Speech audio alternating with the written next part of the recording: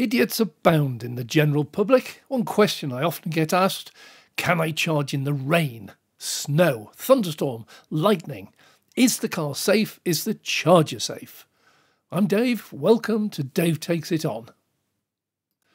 It is tipping it down, so I thought I'd make a video about charging in the rain. This is the UK, does rain. It is charging, you can see that from the green lights, so it's live. I can happily swipe the water off the handle and then grab hold of it. The cars are fully protected, the electricity totally isolated. Don't forget, submarines have high voltage and high current, and they're safe. Properly designed and built, EVs are totally safe in the wet weather, unlike your average ICE car. They really do not like wet weather. Well, a big thank you to Tom Sunderland for this video. Check out his channel, link below for more fun and games. Well, at least to us EV owners. ICE cars have exposed electronics and spark plugs that can easily get wet, and if they do, the engine tends not to run very well at all. And you'll see that with some of these cars just grinding to a halt. Luckily, they'll probably run again once they're dried out and sprayed with WD 40 or something. Unless. Hey, did someone say EVs are too heavy? I bet this guy wished his car was a bit heavier. You see, ICE cars suck in air, which they draw into the cylinder and the piston compresses it.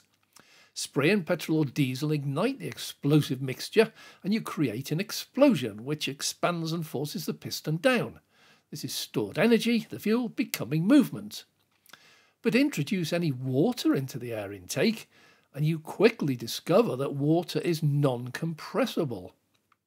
If you get water into your air intake, it will be drawn into the cylinder, and when the piston tries to compress a non compressible substance, something has to give.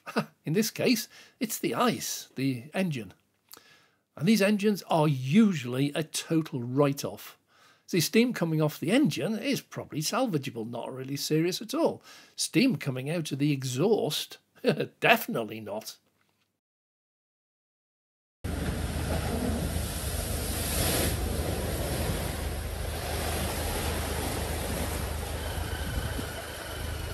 Well, that doesn't sound too healthy. I think that one might need a bit of TLC. You know, I could watch these for hours before some bright spark points out that some of them get through. Bet an EV can't do that. Ha! Just what I was waiting for. Enter the Tesla Model 3, the one people are worried about charging in the rain. EVs do not have air intakes for the engine, or cylinders, or pistons, or spark plugs. But I love the cheeky wave, obviously meant for all those queuing up waiting for an EV to catch fire or something. EVs have a battery and an electric motor. And because 100% of EVs are not used in Egypt, they're all designed and built to be totally waterproof, weatherproof, and completely and utterly safe.